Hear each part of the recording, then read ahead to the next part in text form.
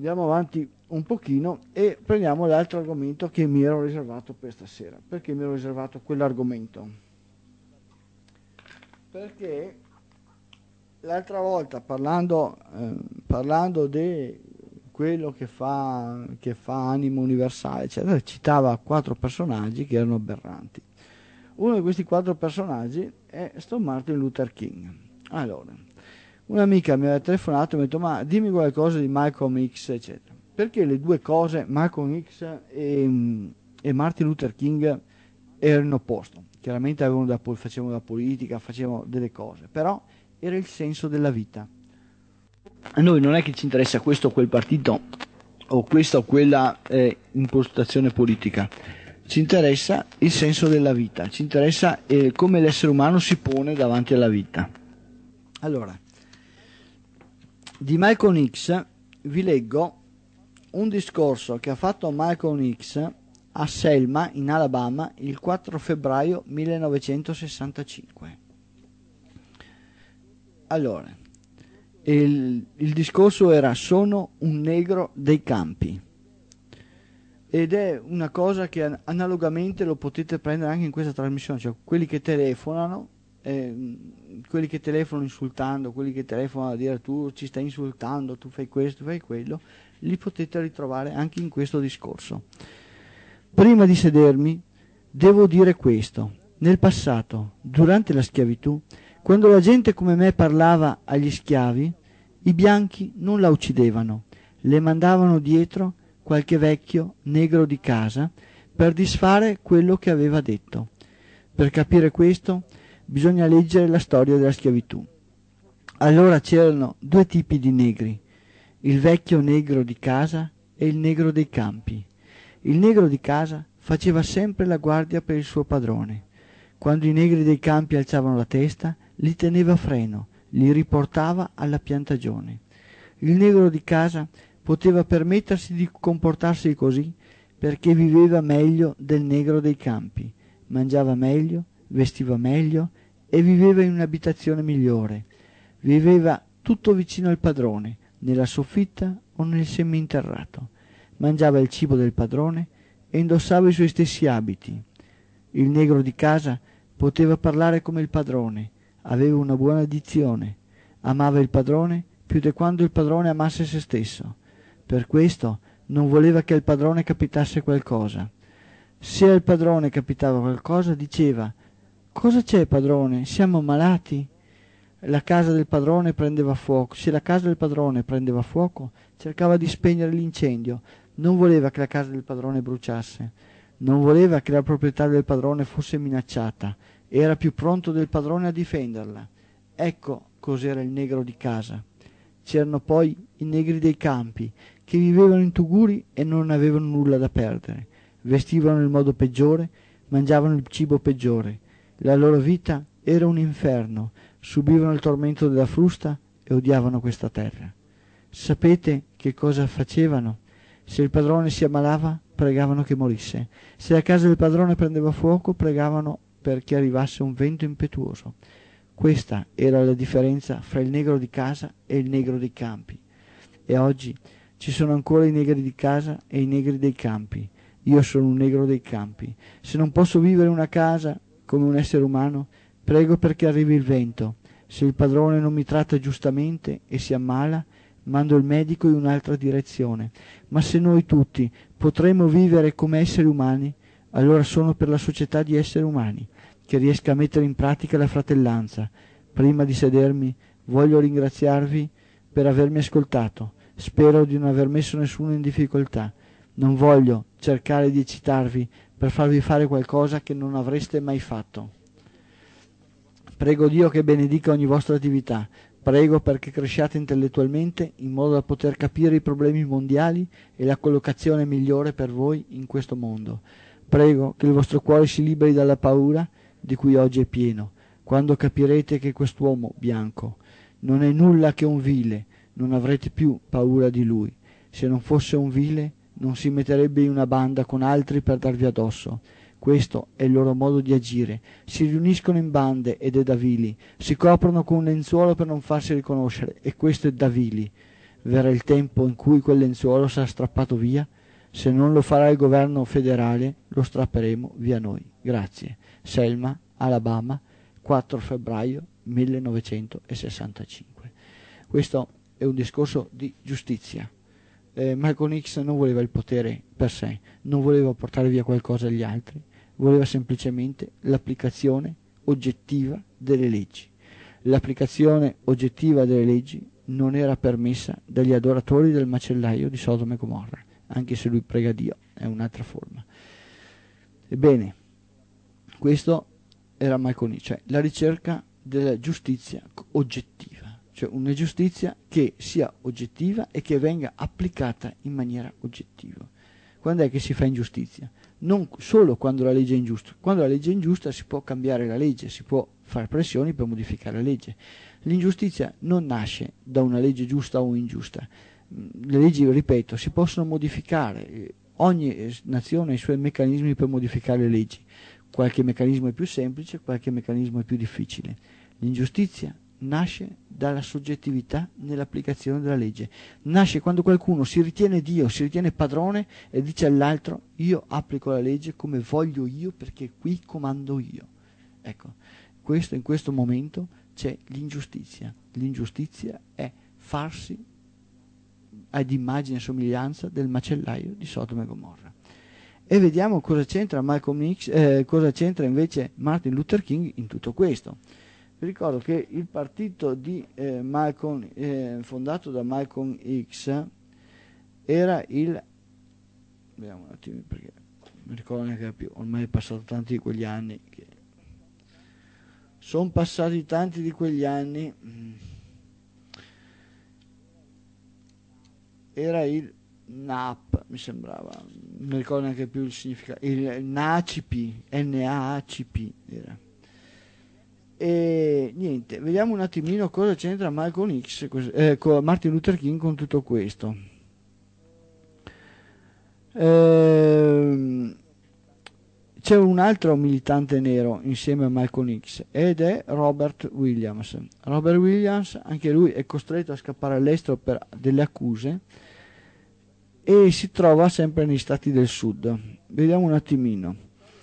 Eh, la storia ha provato che Williams aveva ragione. Tanto nel sud che nel nord degli Stati Uniti i bianchi hanno impiegato ogni sorta di violenza contro i manifestanti neri, dai cani poliziotti alle armi automatiche, abbattendoli apertamente senza pietà o pagando sicari per assassinare ogni leader afroamericano che osava sfidarli. Da Malcolm X allo stesso Martin Luther King e innumerevoli altri militanti neri meno conosciuti da un capo all'altro degli Stati Uniti. Gli otto anni di esilio di Williams ebbero inizio nel 1961, quando James Forman, a quel tempo associato a Luther King, fu inviato a Monroe, nella Carolina del Nord, con l'incarico di provare a Williams e ai suoi seguaci l'efficacia delle manifestazioni non violente.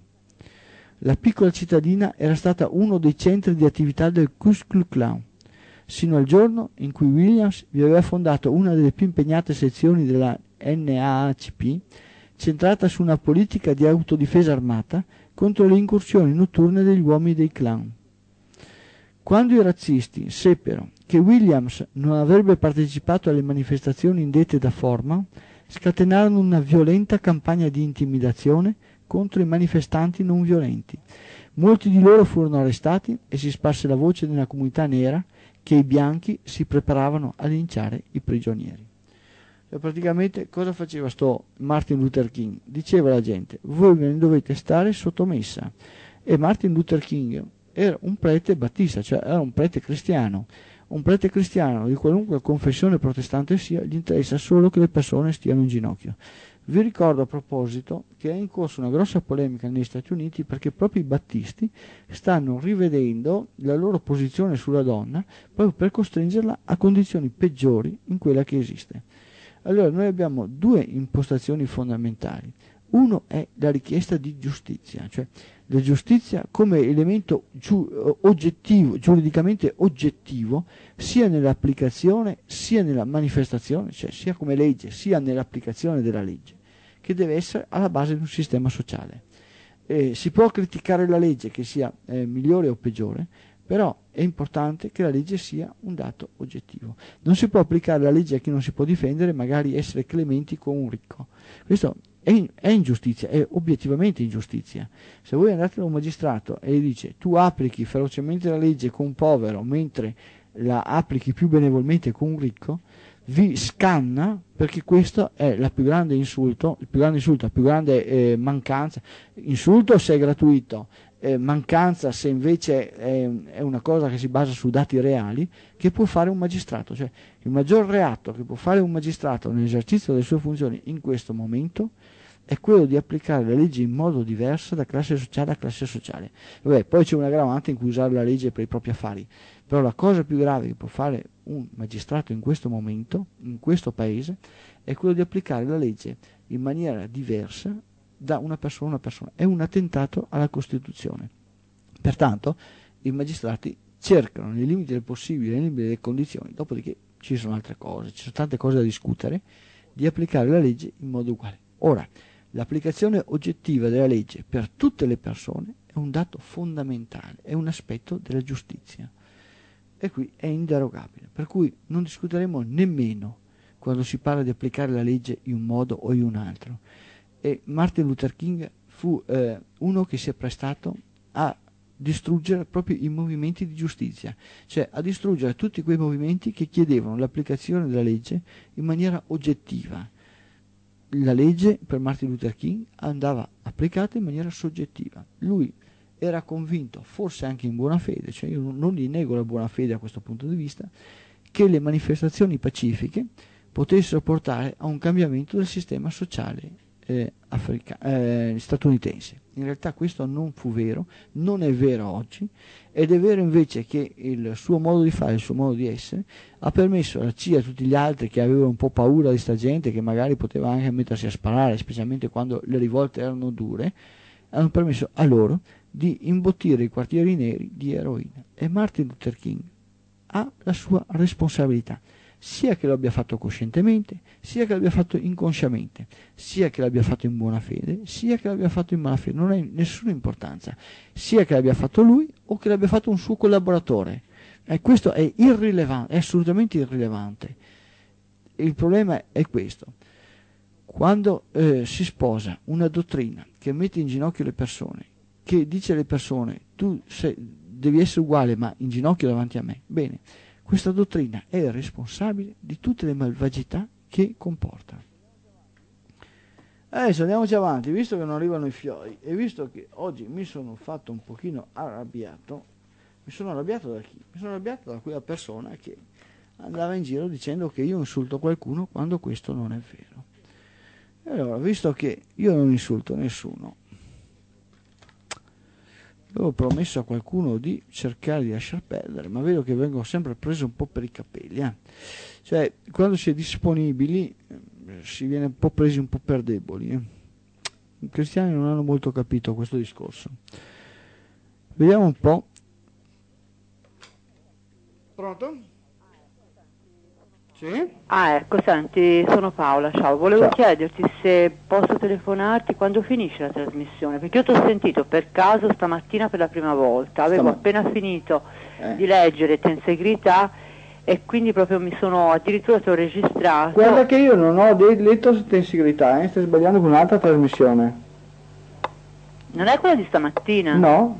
Io non ho io faccio la missione gesta di Maria Paganelli, poi io sono anche contrario alla tensibilità di Castaneda. Se sono un, cast- eh, sono un castanediano, diciamo così, nel senso che ho studiato Castaneda, mm. ma la tensibilità è una delle cose che non mi piacciono molto eh, appunto, io mh, mm, siccome ho sentito che stamattina parlavi, tut- volevo sapere prima di tutto qual è il testo, eh. dimmi. Come fai sen- aver sentito che io parlavo di tensibilità? No, no, eh. no, no, ho sentito che parlavi dell'agguato. ah parlavi... sì, oggi pomeriggio sì, sì, sì, sì. Oggi pomeriggio ho parlato dell'agguato, sì. Allora, ehm, ti posso telefonare quando finisce la trasmissione? Sì, certo. Mm, certo. Ora.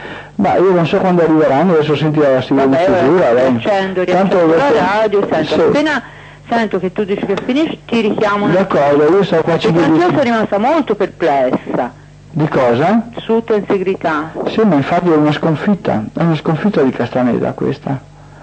è la sua sconfitta nella, nel suo cammino di stregoneria. Ok, ok, beh, perfetto, eh, ne parliamo. D'accordo, Mi piace? Prova, prova, figurati. Ciao, ciao. ciao. ciao. Allora, siccome, siccome la disponibilità non vabbè, eh, vediamo un attimino sto discorso anche, vabbè, dopo ne parlerò in privato con la radioascoltatrice. Eh, il problema, il problema del, di Castaneda è questo, io non so bene se eh, sia stato un gioco per lasciare tutto là o per dire beh sai in fondo chi ha capito ha capito, gli altri, gli altri gli diamo tensibilità, gli diamo un po' di ginnastica tipo yoga, tipo il resto.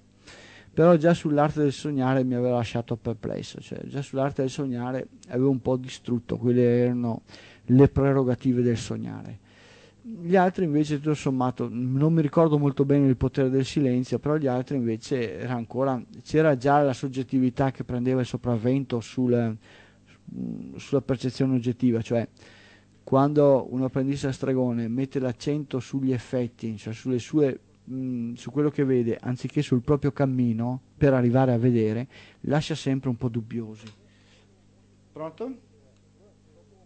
Buonasera. Buonasera. Dopo molte puntate sono intervenuto qualche volta per fare delle, delle domande e quindi non pretendo naturalmente una risposta adesso a fine, a fine trasmissione. Ho sentito eh, questa sera però per la prima volta eh, quella del pazzo di Nazareth.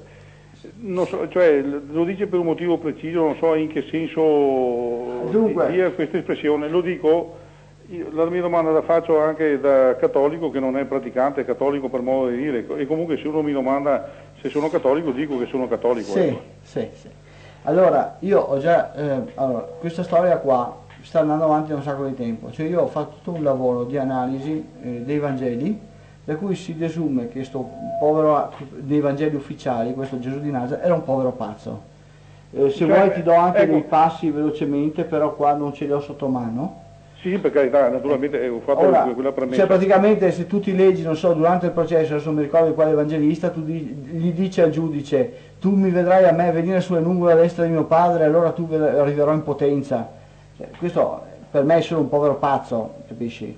Dopodiché se uno è convinto che questo fosse il figlio del Dio creatore, chiaramente gli dice a me No, che no, ma eh, ci, ci astriamo da questo, cioè uno, un cattolico si sente nominare Gesù Cristo, lo pensa fe- fe- fondatore della Chiesa. Certo. de- de- ecco, sente que- que- questa espressione, eh, non dico lei mi, mi concederà, ma comunque dico, eh, viene naturale un'espressione, per esempio, non so, c'è a- perché lei ha fatto ri- riferimento a visioni, la lettura ap- apocalittica per esempio del nuovo e, fine del nuovo, dell'Antico Testamento, il Testamento era una, una- cosa eh, corrente a quei tempi, per esempio Simo Mago, visioni, eh, cose extranaturali erano correnti, ma per esempio lei attribuisce la pazzia anche ad altri o per esempio o, o- solamente a questo soggetto No, no, solo, solo a questo soggetto per tutto il male che ha, che ha generato, cioè rispetto agli esseri umani. Cioè questo soggetto particolare, è, è solo nella descrizione dei quattro Vangeli ufficiali, perché quando andiamo alla descrizione sugli gnostici, no? che usano anche loro alcuni aspetti del, del Ge- di Gesù, no? cioè usa il termine Gesù, allora ha un altro atteggiamento. Ma cioè una vita specchiata, studiata da 2000 anni, No, no, non è specchiata, no, è una cosa, una porcheria, ma guarda che se vuoi in qualsiasi momento io sono disponibile a pigliare i Vangeli in mano, io ho scritto già un libro di un milione rotti di caratteri analizzando i Vangeli ed è una cosa veramente abbor- cioè se i missionari Un esempio ammazzavano per esempio, non so, ecco, non è che io le Eh. chieda conto adesso, ma dico un esempio a parte quello che lei ha detto, non so. eh, non so, l'episodio, del fico, Cioè, per esempio, borriosa, la donna, la cacciata, la cacciata degli- dal Tempio, la cacciata dei mercanti al Tempio è una cosa odiosa, una cosa ma, ma vergognosa. cioè, quello per chi interpreta, fa l'esegesi an- anche minima, anche un ignorantello come me, è la simonia, cacciare la simonia dal tempo, gli affari A dal parte il tempio. fatto che non è vera la tua interpretazione perché la Chiesa Cattolica ha sempre fatto simonia, per cui la tua interpretazione è solo Cioè, ha sempre personale. fatto simonia, cioè, cioè quando, non so, Beh, chi- quando, vende, quando vende le indulgenze fa simonia, cioè, Cioè, ci sono ma state dico, anche le i simonie- protestanti. vedi, Le simonie sono situate nel Tempio, la Chiesa comunista Comunque- ha fatto 250... Com- comunque 220 il tempio, il tempio è un centro sociale della città, Dire qua è roba mia e tu ti metti in ginocchio perché qua che se ne pare, significa privare la città dell'uso del Tempio. Io, io penso che lei voglia scherzare perché cioè no, no. il velo del Tempio il te- ogni, tempio, potevano... ogni, tempio, antico era un luogo di ritrovo, era un luogo civile, era un luogo di commercio, era un luogo di idee, era un luogo di discussione. Cacciare via la gente dal tempio significa dire qua è roba mia. Adesso però devo chiudere la trasmissione. Bene, grazie. Comunque. Grazie, buonasera. No, buonasera. Allora, io eh, devo chiudere la trasmissione e vi ricordo che io sono sempre disponibile a discutere anche con questo signore. Se lui vuole ritelefonarmi giovedì prossimo a discutere in questi toni, ben, mi va benissimo. Cioè lui presenta le sue cose e io gli ribadisco le mie. Chiaramente eh, per me è una questione sempre di vita, per cui sarò sempre pronto eh, a ribadire, però va benissimo questo tipo di, eh, questo tipo di confronto. Per quanto riguarda Gesù di Nazareth, io non dico solo che è pazzo, ma ho trovato anche alcuni riferimenti che vanno a giustificare i comportamenti pederasti dei, dei, dei, dei sacerdoti, eh? Del, tipo il vescovo di Vienna o tipo tutti questi altri. E inoltre non è soltanto i riferimenti al matto che ne ho alcune decine, ne ho tante altre che posso rifiutare. Comunque io ho già scritto un libro, ne sto già scrivendo un altro, sto già lavorando per altre cose, sempre eh, scusate, pronto? Io penso che, penso che tu sia un pazzo a dire certe cose. Vieni. È una cosa pazzesca sentire certi argomenti, trattati in questa maniera superficiale. Va bene? Mi vergogno che ci siano, per te che ci siano delle persone in giro così.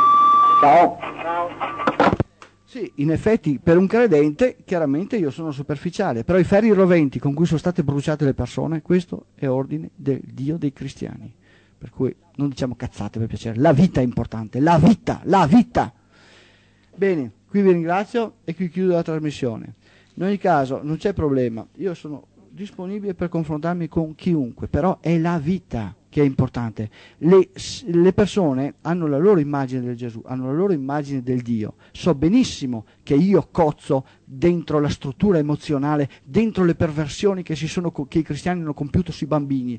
Lo so benissimo che l'idea del Dio buono è stata instillata come una siringa al bambino piccolissimo. Lo so perfettamente questo e lo so perfettamente che mille dimostrazioni, voi mi troverete centomila cose per dirmi no, non è vero, ma questo si può interpretare in questo modo, in quella.